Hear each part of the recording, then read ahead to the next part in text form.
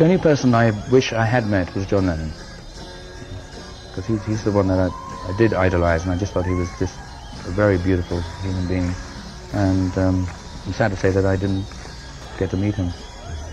He's the only one.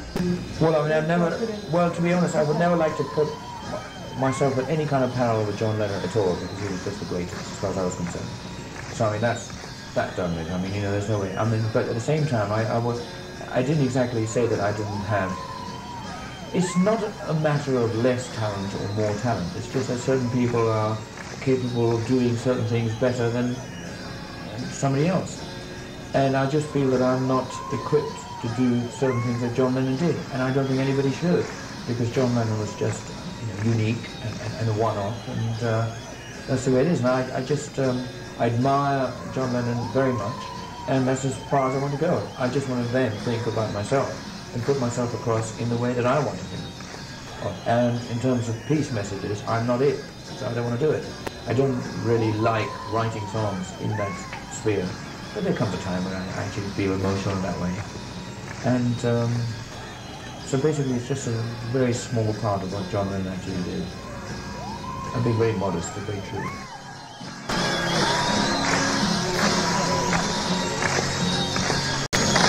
Imagine there's no heaven. It's easy if you try. No hell below us. Above us only sky.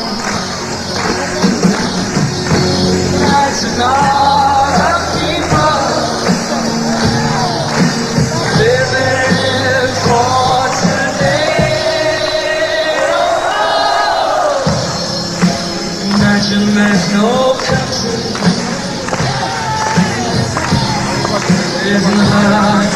move.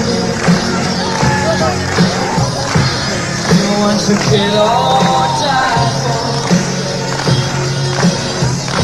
And no religion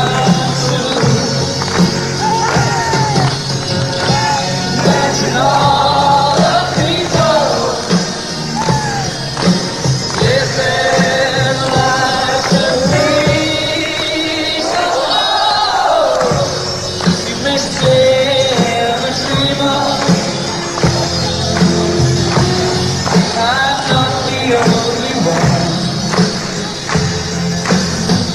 I hope someday.